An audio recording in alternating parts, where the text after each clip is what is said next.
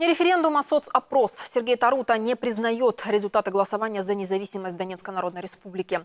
По мнению главы региона, самопровозглашенное государство сегодня не имеет права существовать законно. Пока такой страны ни политически, ни юридически нет, заявил действующий губернатор. Напомним, самостоятельность ДНР поддержали почти 90% избирателей. Десятая часть голосовавших высказалась против. Проходил референдум 11 мая во всех населенных пунктах области нету зарегистрированной организации, нету ни гражданского общества, есть вот придуманное название и больше ничего за этим не следует. Можно его назвать как социалистский опрос, к нему так и нужно относиться, мнение тех, кто пришел, вот что они хотят.